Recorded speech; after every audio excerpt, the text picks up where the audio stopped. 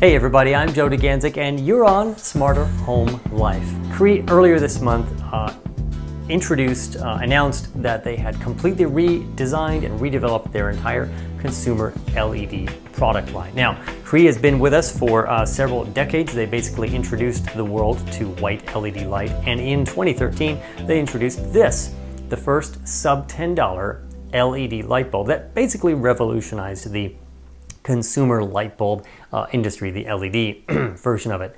And they've redesigned the bulb every year since, and this is the version of it that is, that is around um, for this season for 2016, and their entire family of bulbs now looks something like this. So now begs the question of should you upgrade? Should you make the jump to LED or the latest LED? They almost inferred that consumers should just make the upgrade every two years when you upgrade your smartphone, but I'm not so sure about that. Now, we've arrived at commodity pricing. You can find these at Home Depot depending on your area and local, you know, utility incentives. I found these for just under $13 for a four pack, which is really impressive pricing. That's about $3 and some change for a quality LED bulb, right? And you can see all the information, 60, 60 watt equivalent, soft white, fully dimmable, all those things. We'll give you the details later should you upgrade? Taking all of that information into account, if you never upgraded, if you're on CFL, halogen, incandescent, and you don't have something against going with new technology like LED, then I would say upgrade. You're going to save money. Absolutely. You're going to save money, save energy, um, all of those good things. If you upgraded to LED five to six five to six years ago, you're probably experiencing some of the issues with those original LED bulbs. Uh, premature failure, flickering, dimming issues, noise, weird coloring, and so forth. So I would say, unless you're not having those issues and you love what you have, it could be uh, worthwhile to take a look at upgrading.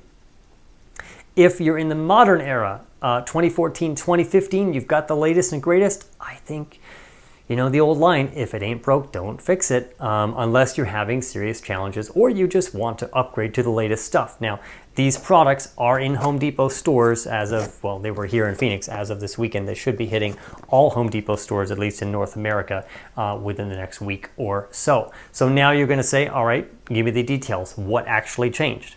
Here we go. The original Cree bulb used a filament tower with 20 LEDs and a silicone coated glass globe. In 2014 and 2015, the 4Flow design used a translucent plastic shell with two LEDs in each quadrant and vented convection cooling. This year's Cree bulb changes to a more standard design and, after we broke it open, it's extremely durable, by the way. You can see that Cree went back to using 20 LEDs, this time arranged in two circular patterns that point upward illuminating the plastic diffuser quite uniformly. Here's the specs on the new 2016 Cree 60 watt equivalent soft white A19 LED bulb, also available in daylight white. It retains essentially the same energy use as last year's Cree bulb at 9.5 watts, but is now redesigned. Unfortunately, the new sealed design prevents its use in fully enclosed fixtures. The new design also means that while the plastic bulb shell will still be only barely warm to the touch, the base will get quite hot, just like Cree's original bulb. Dimming is now entirely flicker free and can go as low as 1% brightness on some dimmers. But as you can see from these photos, your results will vary. We can confirm, however, that flicker at low brightness levels is now a thing of the past with the new Cree bulb. Cree has extended this bulb's warranty period to 10 years and renamed it to a satisfaction guarantee, but essentially it's the same thing. By the way, the expected life of the bulb at more than 22 years is still the same.